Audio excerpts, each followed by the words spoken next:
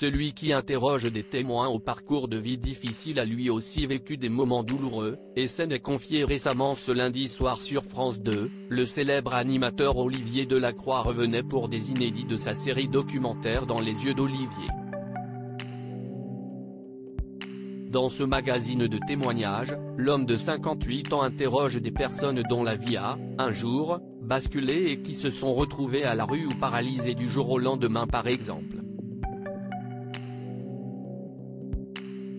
Présent à la télé mais aussi à la radio pour la libre antenne d'Europe 1, l'animateur s'est spécialisé dans les sujets sociétaux et intimes. Il présente d'ailleurs ses documentaires comme des films militants pour l'humain dans lesquels il vit des moments forts. Ce 6 février, il était l'invité du Buzz Télévision du Figaro pour en parler.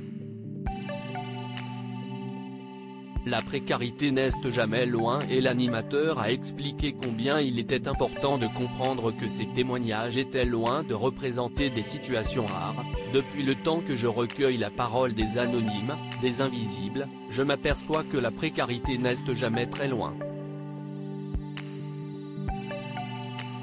Un accident de la vie, on peut tous en être victime, a-t-il commencé en évoquant la précarité au sens large du terme.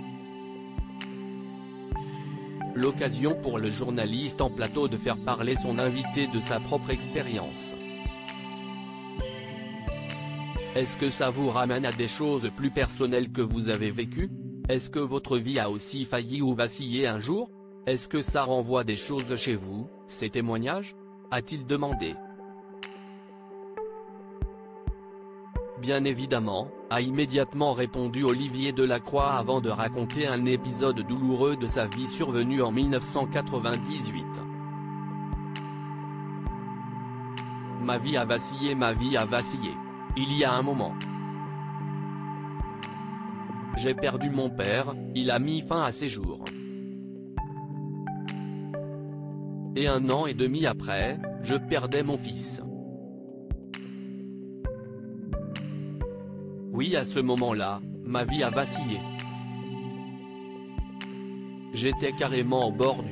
Je peux dire que là j'ai vacillé. Et si est-il la seule et unique fois dans ma vie? Catégorique, pourtant, il précise ne pas avoir voulu mettre fin à ses jours, ça ne se formule pas comme ça les choses